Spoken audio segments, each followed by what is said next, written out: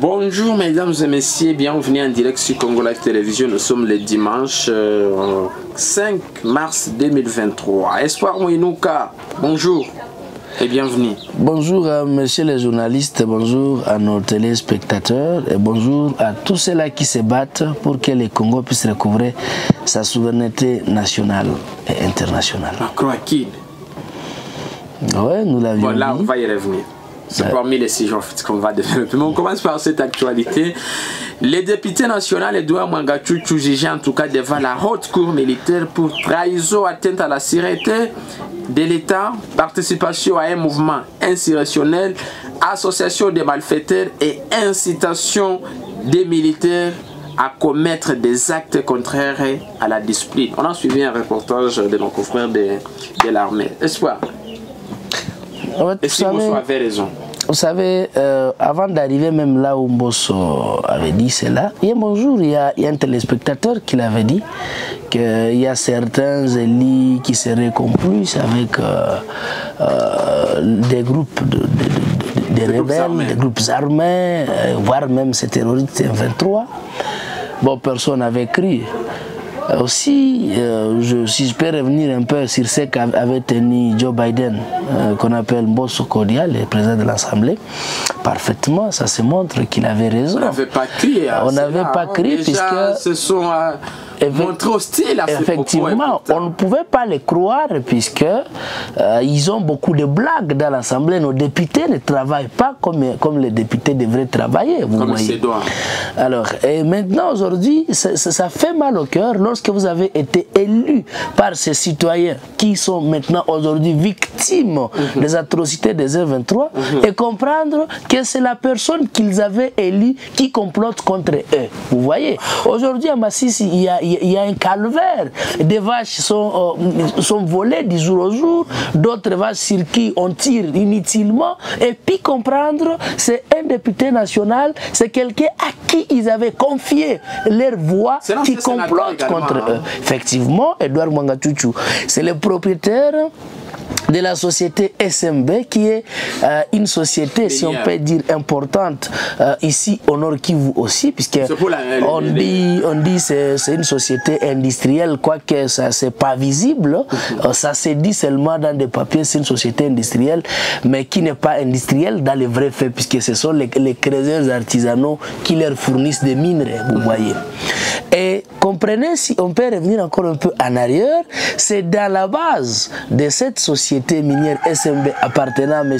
Edouard Mwangachuchu qu'on avait découvert notre cache d'armes, vous voyez Où c'est? à, à Massissi, toujours à Rubaya. Chez lui, euh, Chez lui. Effectivement, dans sa résidence à Rubaya. Et aujourd'hui. Effectivement, vous avez Oh. vu des vidéos qui circulaient. Il y avait des PKM, des lance-roquettes, des Oh. roquettes, des AK-45. C'était une multitude de munitions. Bon, nous ne savons pas, puisque c'est un ancien rebelle, il Oh. faut préciser. Comment ça? Nous ne savons pas si ces armes euh, re- remontent de l'époque où il, il était dans la rébellion. Attends, quelle rébellion là? Il était dans l'RCD, SNDP, vous voyez. Non, il faut que nous soyons clairs. Nous ne devons pas craindre les gens pour ne pas dire la vérité. Comment ça? Et c'est député effectivement, vous savez comment est-ce qu'ils ont été nommés en cascade, comme sénateurs, comme députés en 2000, Oh. euh, en 2006, juste après, euh, après l'histoire de 1 plus 4, vous voyez. Et il avait un poste très important dans 1 plus très 4. clair. Effectivement. Alors, c'est que euh, nous pensons, nous autres, que ça doit, euh, ça doit pousser tout le monde à une bonne réflexion et comprendre normalement quel genre d'autorité que nous avons, quel genre de député que nous avons et que nous devons définir notre destin une fois pour toutes.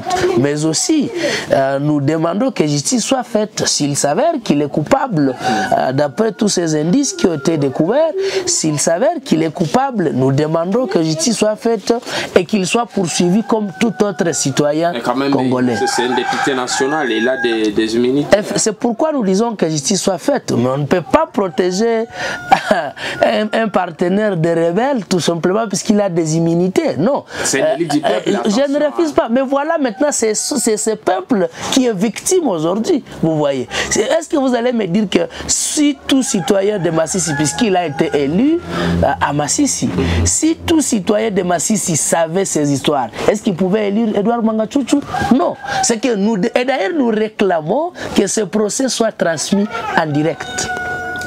Effectivement, c'est tout à fait c'est tout à fait normal, c'est tout à fait normal, c'est bien clair. Et d'ailleurs la loi exige que tout procès soit public. Lorsque ce procès ne peut pas créer de problèmes, ce procès doit être normalement public. À défaut euh, médiatisé, télévisé. Non, euh, médiatisé, ça fait partie aussi de, de la publicité mhm. euh, de, de, de, de procès. C'est que nous exigeons que la haute cour militaire puisse rendre ce procès public d'une manière effective. Et lorsque nous parlons d'une manière effective, pour que nos compatriotes de Massissi puissent aussi suivre ce procès comme on suivait le procès un jour. Puisque ça doit être aussi pédagogique à tout citoyen qui pense que comme j'ai telle ou telle autre immunité, je ne peux pas être poursuivi. Non, ni au-dessus de la loi. Et nous demandons de poursuivre encore ces recherches et voir si on ne va pas tomber sur mais, même une chose.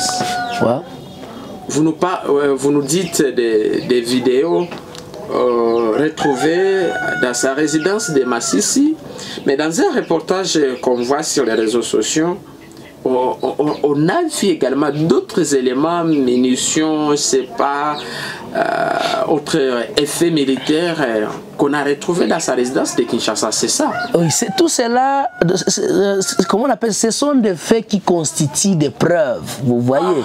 C'est que nous attendons voir comment est-ce que, puis on va ramasser d'autres, ça ne vous en faites pas. Dans le sens où il est même, incriminé d'avoir incité les militaires à commettre des bavures. Vous savez qu'il y a encore des, morts ici, dans des morgues à Goma, à moins que ces gens été enterrés sans que nous les sachions. Mais vous savez que la police qui est euh, mise à sa garde à Rubaya tire sur les civils inutilement. Ah. Vous voyez? Tire sur les civils inutilement. Les gens venaient de faire euh, des ans dans la morgue ici, à l'hôpital Charité. Vous voyez? Vous pouvez y aller et demander combien de ces victimes qui ont été là-bas. C'est qu'il y a beaucoup de faits et nous demandons euh, que, tous ces, que tous ces faits soient constitués et les remettre à la haute cour militaire. Mais avec tous ces charges, tous ces griefs qui pèsent contre lui, qui risque notre député Ouagatou Non, il risque euh, soit une peine de mort, bien une peine capitale. Ah, non, attention, lorsque, lorsque, oui, c'est pas applicable, mais la peine capitale est applicable, vous voyez. Et il peut être condamné à perpétuité. Bon, peut-être peut-être qu'ils vont, euh, nous attendons voir comment est-ce que ces avocats vont les défendre, puisqu'il est de plein droit de défendre tout citoyen, vous voyez. Et il est de plein droit. Ici, euh, oui, non c'est pas grave. En droit, là, il y a beaucoup de charges, oui, mais qui peuvent être balayées par euh, ce conseil, ce conseil, pardon. Alors, mais pour nous, nous sommes dans le sens où c'est la défense et la sécurité qui est en jeu. Vous voyez. C'est que nous, on ne peut pas se fouiller à des choses inutiles, tout simplement puisque tel ou tel autre a des, a des euh, immunités. Mm. Non. Ah, lorsqu'il s'agit de la défense nationale, c'est la vie de tout citoyen qui est en danger. Vous voyez. Si vous pouvez euh, partir maintenant là à Massissi, vous allez voir que les gens, tout le monde n'est pas au courant. Vous voyez. Ils ne sont pas au courant de ce qu'on a vu dans sa maison à Kinshasa. Ce qui attend de voir et on laisse la justice de bien faire son travail. C'est que nous ne voulons pas qu'il y ait des interférences politiques dans ces dossiers, puisque ça s'est dit que lorsque la, la, la, politique entre par la grande porte, le droit ne passe que par la petite fenêtre. Vous voyez. Mais cette fois-ci, nous voulons que ce procès soit un procès pédagogique qui doit éduquer tous les politiciens congolais et tous les citoyens qui pensent que, comme je suis ami de tel, fils de tel, euh, mon père a telle histoire, je dois badiner avec la défense nationale. Maître Espoir. Non, je ne le suis pas encore. Nous sommes quand, euh, au bas de l'université. Je vois que tu maîtrises certaines notions euh, des droits. Non, nous ne sommes qu'au début. Et nous devons. vous êtes c'est un, devoir. c'est ça. Effectivement. Public ou privé. Je suis un privatiste, euh, privatiste à devenir. Mais c'est un devoir de tout activiste de bien maîtriser la loi. C'est un devoir. Oui, nous, nous, nous y allons avec Maître pompe.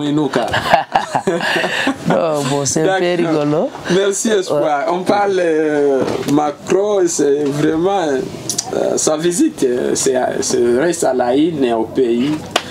Très commenté sur les réseaux sociaux, les points de presse, on a suivi sa discussion avec euh, le président Tshisekedi. Ah, il y a une, vidéo, une, photo qui est devenue virale sur les réseaux sociaux. Nous voyons le président Tshisekedi pointer du doigt le, le tout-puissant Macron, s'il faut le dire. D'abord, comment vous avez commenté, comment vous commentez, disons, euh, l'échange de Tshisekedi euh, Quand vous parlez d'abord du tout-puissant Macron de le tout-puissant Tshisekedi et le tout-puissant Tshisekedi, les deux, personne n'est tout-puissant. Le tout-puissant s'appelle Dieu, le Père créateur, celui qui avait créé nos ancêtres et celui qui avait créé cette terre. C'est que ce sont des humains et entre eux, personne n'est tout-puissant. Non. Ça, il faut préciser nos téléspectateurs. Mais quand même, les voisins, la réaction de me- qui, euh, euh, qui le nom maudit, je n'aime plus parler de lui. Écoute, on Alors, parle de Macron. Voilà, alors, euh, j'ai aimé quand même la réaction de M. Tshisekedi, de même que j'ai aimé aussi, aussi la réaction euh, de l'homosexuel M. Plaît. Macron. Alors, mais il faut appeler les chiens par son s'il vous nom. plaît. Ça, c'est sûr. Restons d'une manière D'accord. même. euh, bon, d'accord. Alors, Il ne faut pas perdre les gens. Il y a les gens qui nous suivent. effectivement, Malgré effect- tout, la France reste un effectivement, je, ne- refuse Oui, pas. C'est pourquoi il a été accueilli c'est- ouais. à Kinshasa. Oui, Quoique voilà. la, la jeunesse s'est opposée, puisque vous avez vu ce Ok, qui a été malgré fait à tout, la vie abandonne Alors, la nuit. Voilà. Alors, j'ai aimé la réaction de ces deux présidents. Je vais commencer d'abord sur, euh, notre- euh, sur le président français. Il a dit pendant 60 ans, vous n'avez pas réussi à faire Il a dit respecter. beaucoup de choses. Voilà, C'est là où moi je vais, je vais euh, m'atteler. Pendant 60 ans, vous n'avez pas su euh, maîtriser votre souveraineté nationale ni votre sécurité et défense. Là, il a totalement raison. Mais ce que les gens ne comprennent pas, ils pensent qu'il dit ça tout simplement à Tshisekedi. Non, il dit c'est depuis tout le chef d'État, après l'assassinat après l'assassinat de M. Lumumba, Mary Patrice Lumumba, il parle de toutes nos autorités, celles qui ont été ministres dans ce pays, celles qui ont été gouverneurs dans ce pays, celles qui ont été chefs d'État dans ce pays pendant les 60 ans. Et les gens se contentent puisque, euh, comme c'est le mandat de Tshisekedi, il a dit ça à Tshisekedi, c'est non. Non. Il a dit ça à toute autorité dans ce Ce pays, pas y compris même, aussi, y compris même les citoyens lambda, Ouais. y compris même les chefs d'avenir, y compris même les Et bourgmestres. à vous aussi. hein. Y compris même nous. C'est qu'il a dit ça à tout le monde. Ouais. Mais aussi, les niveaux diffèrent maintenant. Vous voyez. C'est que mon niveau de- de- d'assurer la souveraineté nationale euh, et internationale de la RDC, c'est très différent de celui du chef de l'État. C'est très différent de celui d'un chef d'état-major. C'est très différent d'un général, euh, surtout nos généraux à trois étoiles. Bon, ils ont été nommés en cascade. Euh, surtout, c'est que c'est là qui nous gouverne. Vous voyez, c'est que notre niveau et le niveau de ceux-là qui nous gouvernent, c'est très différent. Vous voyez. Et aussi, euh, il, a, il a essayé aussi de parler sur des élections et je crois qu'il a été recadré puisque euh, maintenant c'est là où j'aimerais commencer sur le propos de notre chef de l'État, euh, du président Tshisekedi. Il a été ferme et clair aussi. Ouais. Lorsque nous sommes agressés, nous vous disons que nous sommes agressés. Mais personne ne veut intervenir. Mais lorsqu'il y aura des histoires, c'est là où vous allez dire que non, ce sont des élections biaisées, des élections... Bon, Mais pendant que on ne parlait pas. aux États-Unis parle pas de ça. Moi je vis euh, hier dans, dans, Tshisekedi, c'est pas un chef de l'État mais un révolutionnaire africain. Vous voyez, Euh, puisque nous sommes sur des lignes de front. Nous nous battons contre le néocolonialisme. au respect de l'Afrique. hein. Effectivement. Il, a, il nous, s'est nous, porté nous, nous, porte-parole de l'Afrique. nous nous battons contre le néocolonialisme et nous nous battons pour la souveraineté de la RDC. Nous nous battons pour la sécurité de la RDC. C'est que hier, il y avait un révolutionnaire qui est euh, au four et au moulin. Vous voyez, c'est vraiment il s'est vu dans un militant de Donc, la un lucha. combattant de l'île de Euh, Effectivement. Alors, mais nous ne voulons pas seulement que ce combat reste seulement là-bas. Non, nous devons, dans ce que disent les voisins ou bien nos ennemis, mais nous devons voir qu'est-ce que nous devons faire, qu'est-ce qui revient à notre responsabilité. Et c'était, d'ailleurs, je crois, les propos d'Emmanuel, quoi que c'était, il a parlé ça avec dedans, mais ça nous interpelle. C'est impossible que les étrangers puissent venir nous protéger. C'est impossible. Ça ne peut pas arriver, vous voyez. C'est que nous devons nous constituer chez nous. Nous devons accepter nous-mêmes de créer notre circuit de défense de la sécurité. C'est que d'après tout, même si les étrangers viennent, qui doivent nous aider, mais nous devons d'abord nous-mêmes comprendre que nous avons un devoir de nous sécuriser. Il a dit de ne pas chercher les coupables ailleurs. Oui, Ouais. les coupables, c'est chez nous. Lorsque les députés sont arrêtés comme ça, d'être des complices avec des rebelles, voilà les coupables à l'intérieur, vous voyez. C'est que les gens, nos autorités, plupart entre eux, n'ont pas cet amour de la patrie. Lorsque vous donnez un député, par exemple, 35 000 dollars, Et un militaire 100 dollars, est-ce que ça vous avez réfléchi? Non, non, là vous ne réfléchissez pas. C'est que toute autorité que nous devons avoir comme chef de l'État doit d'abord réfléchir sur la défense. Imaginez si on donnait aujourd'hui à un militaire ne fût-ce que 500 dollars.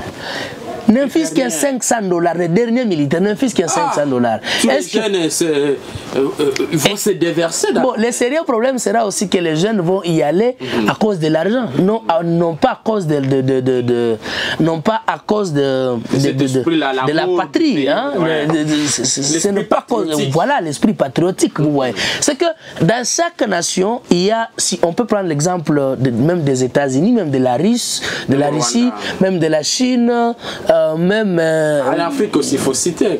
Non, en Afrique, on peut parler aussi du Nigeria. Voilà, Euh, on peut Rwanda. parler aussi de l'Égypte, vous voyez. On peut parler aussi. euh, euh, non, on peut parler aussi du Mali, on peut parler aussi de la Burkina Faso. C'est qu'il y, y a cet amour qu'on qu'on implique d'abord au sein de la jeunesse. Mais lorsqu'il y a. Puisque chez nous, nous sommes l'unique pays, et aussi le Rwanda, il faut le dire, l'unique pays où on est riche, on est riche, on est pauvre, on est pauvre. Puisque la pauvreté encore au Rwanda, c'est grave qu'ici chez nous. Mais normalement, nous ne pouvons pas avoir l'amour de la patrie tant qu'il y a un groupe de gens qui bouffent la richesse de la RDC. Il y a un groupe de gens qui ont touché ne fût-ce que des armes, qui ont fait 4 ou 5 rôles dans des fermes comme ça, là. pompage. Des, des pompages, des sites faciales, ils sont colonels, ils sont généraux, qui ne savent même pas écrire leur nom. Et c'est eux qui ont les moyens de la République et que nous autres, nous souffrons. Vous voyez, c'est très grave. Et cela ne peut pas inciter que les gens aient cet amour. C'est que le chef de l'État, s'il aura le deuxième mandat, et si... Justement, Et si là. non, je ne Oui. veux pas... je- comme je l'ai toujours dit, je n'influencerai jamais nos téléspectateurs et nos compatriotes. aimons notre chef de l'État. Nous devons tout simplement...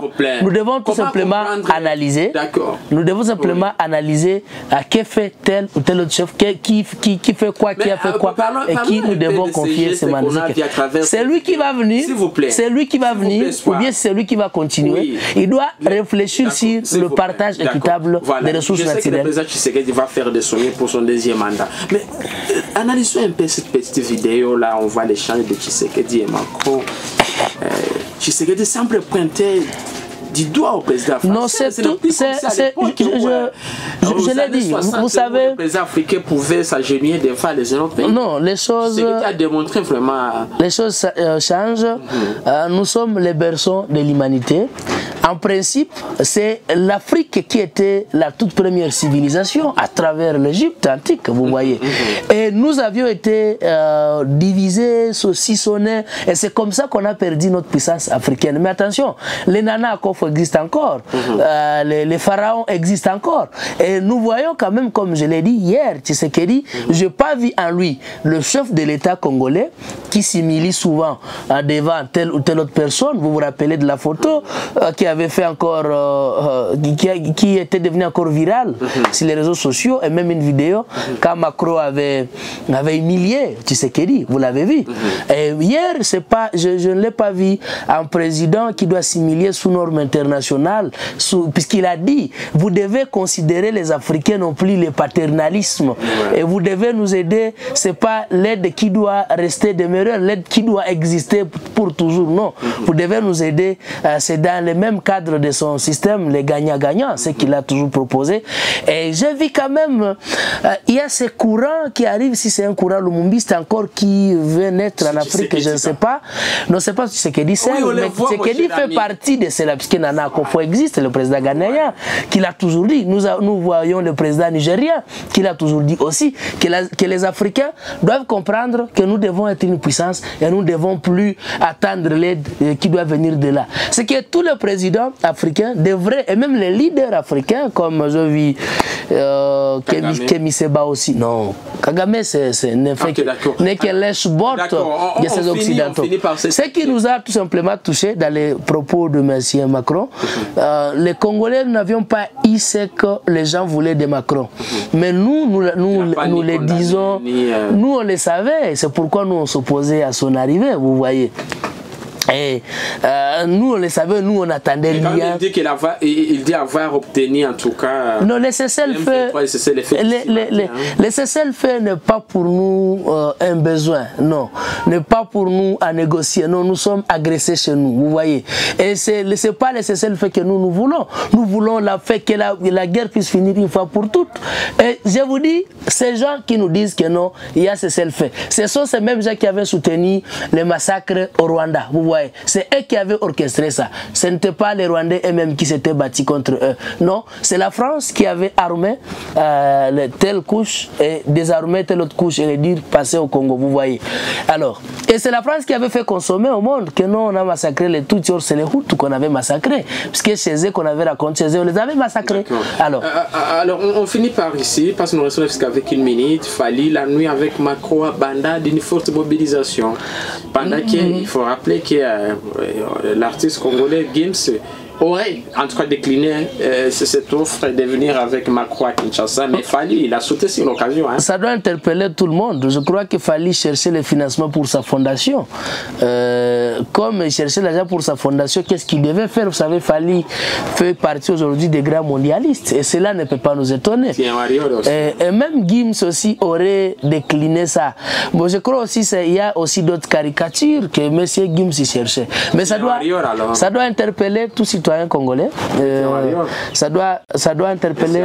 Mais monsieur vous êtes en c'est ça? Non, j'aime la musique de Fali, c'est si. Ah, mais cela ne veut pas dire. aussi Macron. Non, cela ne veut pas dire que je suis euh, d'accord avec. Euh, tous les warriors. avec tous les warriors. Non, c'est pas tous les warriors. Fali, il n'a eu que. représenté l'équipe à Il n'a eu, j'ai un message un peu pas. J'ai représenté l'équipe de celle-là avec qui nous avions brûlé les drapeaux français. Et nous sommes sûrs, puisqu'on nous a signalé que les drapeaux rwandais se trouvent encore au niveau du bain des jeunes, mais à l'intérieur, mhm. euh, nous irons chercher ces drapeaux là-bas. On va aussi les brûler. C'est que, que les gens encore se préparent, on va encore le faire. Nous n'avons pas d'autre choix. Alors, la présence de M. Macron à Bandal, je crois, ça ne peut pas nous étonner, ça ne peut pas créer débat. Fali, c'est une star et Fali ne cherche que les views, puis simplement. Et il cherche tout simplement aussi à s'étirer à cette sympathie. Mais je crois qu'il a fait passer aussi les messages. Je ne crois pas qu'il est parti avec lui sans lui dire que chez nous, ça ne va pas, vous voyez. Ça va rien changer. Euh, oui, je sais, ça ne va rien changer, mais quand même, ça a interpellé son ami, euh, son ami Macron. C'est que chez nous, nous devons, quoi que ça se dit chez nous Swahili Kibaya na Nikamutu, vous voyez. Macron c'est un étranger, Fali c'est nationaliste et nous devons... Merci beaucoup. Euh, effectivement. Fachi mwana kine moto atika réplique na défaut Macron. ah, les réseaux sociaux. Euh, hein. Mais bon, c'est pas ah. question des réseaux sociaux. Fachi mwana kine ouais. moto atika réplique na défaut. Macron a lobby, Fachi réplique. Tina euh, apekisi. Ah. Euh, non, ça c'est tout à fait c'est tout à fait normal. Ah. Moi, moi, je crois les, les, les compatriotes qui a écrit ça, c'est dans l'histoire. Ça ne s'est jamais vu à part à l'époque de Lumumba où Lumumba répondait farouchement ah à, ces, à ces colons qui, occupaient à ces, à ces colonisateurs belges. Ah. Et nous avions vu ce que dit aussi. Il a fait, mais comme je l'ai dit, on ne peut pas s'arrêter simplement à, ça seulement. Non. Mais c'est un signal fort pour la Oui, c'est un hein. signal fort. Ça, on ne refuse pas. On doit voir aussi dans ce cas dit Macron, euh, il nous a interpellés. C'est que nous devons voir aussi notre devoir. Et ça, nous interpellons aussi à la population euh, d'une manière générale, à tous citoyens congolais. On a suivi toutes les communications partout. Macron a passé, on a vu, je crois, au Gabon là où il était assis avec le président, là, il est très souffrant d'ailleurs. C'est Ali Bongo, je crois. Comment lui, il était toujours silencieux devant les jeunes qui, qui, qui posaient des questions à Macron. Lui, il faisait qu'il applaudit. On a vu en Angola la même chose, au Congo, mais à Kinshasa, c'était chaud. Hein? Non, vous savez, nous n'avons pas une même histoire entre les Gabonais, les Brazzavillois et les Congolais. Pour certains, Notre... vous savez que la France, euh, en tout cas, elle est sous pression dans l'Afrique des euh, je crois l'Afrique de l'Ouest. De l'Ouest. Et centrale, ça commence enfin, aussi. Non, non, c'est dans l'Afrique de l'Ouest. Ouais. Et du coup, la France veut venir chercher maintenant comment se faire asseoir dans l'Afrique. Non, oh, cette hégémonie française. Gabo, tout ça, Congo. Le, le, vous savez, le, la RDC n'est pas quand même à son bon terrain. Vous, vous savez pourquoi? Mm -hmm. La France soutient le Rwanda à 100%. Mm -hmm. Vous voyez? Et nous sommes victimes de notre voisin Mabé. Vous voyez? Et lorsque toi qui soutiens tel, tu veux venir t'abriter ici chez nous. Mais nous ne pouvons pas accepter. Nous voulons d'autres partenaires qui ne sont pas partenaires avec les Rwandais. Vous voyez Quoique nous sommes des voisins éternels, mais nous chercherons d'autres partenaires qui ne seront pas partenaires au Rwanda. Quoiqu'il n'y a pas de conflit éternel en relation internationale, mais quand même, il y a du respect sur le plan international et la même considération. C'est qu'a demandé même Tshisekedi. Merci Vous voyez beaucoup. C'est Bon que dimanche. toute la jeunesse, Ouais. nous devons nous approprier ces combats. Nous sommes dans une guerre qui, est- qui, doit être, qui doit être une guerre populaire et que nous devons finir une fois pour toutes. Et la guerre n'est pas simplement se combattre avec ces petits pays, mais nous allons nous combattre aussi avec ceux-là qui s'appellent des grandes puissances. Et nous devons nous armer jusqu'aux dents. Merci beaucoup, Espoir, d'avoir été là. Bon dimanche à vous. Merci, et merci à nos téléspectateurs. Vous devez toujours m'excuser pour ma voix puisque je n'ai pas encore bien recouvré ma santé. C'est que, mais nous tenons toujours debout. Nous n'allons pas lâcher. Merci. C'est le Congo ou rien. Maître Espoir. Non, ça c'est l'usurpation. Je n'ai pas encore eu cette On va, qualité. on va te chercher déjà les taux euh, Ah non, j'ai pas encore eu et cette les qualité. cabinets dans lesquels tu vas prester. J'ai pas encore eu cette qualité. Il En a- attendant, mais tu seras parce qu'il faut qu'on te cherche, qu'on te mette aux côtés du président Tshisekedi parmi ses conseillers. Mais toi, tu ne seras pas comme d'autres là. Non, je, Tu feras des marchés de gré à gré. je, je ne peux pas. Vous, vous savez, tant que la présidence est encore inféodée par de, de, de, de euh, euh, qui cherche à, à, à, à abuser de la volonté de Tshisekedi, euh, qui continue à dire à Tshisekedi, non, maintenez tel général à côté, maintenez tel à côté. Non, il y a, il y a des généraux qui peuvent mieux faire la guerre. Moi, j'avais proposé, quoique personne ne nous écoute, le général ici de la police, le Abba Van Hank, Les commissaires le commissaire, commissaire divisionnaire, il peut être un bon commandant de guerre. Mais pourquoi on ne le prend pas comme conseiller? Mais il est- si, si, effectivement, il mais- sert bien la province. Oui, Il sert bien la province. Effectivement, mais si, si c'est lui qui avait le commandement de cette guerre, je vous dis, on ne pouvait pas vivre ainsi. ça, c'est autre. Non, bon, c'est ça le sérieux C'est un problème. policier. Oui, c'est ça. Non, il fut militaire, c'est ça le sérieux problème. Mais pourquoi il avait fui l'armée Non, pour c'est la pas, police? c'est pas fuir l'armée pour Euh, la police. non, c'est pas, c'est pas fuir. Mais je me rappelle, il y a si- des commandants au civil, les, les colonels Job, qui demandé aussi qu'on- Effectivement. les Si, si moi j'étais le conseiller du chef de l'État, moi, puisqu'il dit jusqu'à preuve du contraire, il reste, euh, il reste euh, le garant de la nation, il reste le commandant suprême. Si ça dépendait de moi, moi je lui aurais dit, mais Excellence, Monsieur le Président, prenez le commissaire divisionnaire de la province ici, donnez, donnez-lui les commandements Cette de, de cette guerre. Et je vous dis, euh, on ne pouvait pas vivre ce que nous vivons aujourd'hui. Nous le le vivons puisque le nous vivons ça puisque nous avons euh, des autorités qui sont manipulables Merci par les étrangers n'importe quand. beaucoup. Il nous faut passé. des autorités Merci. nationalistes Merci. pour gérer cette guerre et pour en finir une fois pour toutes.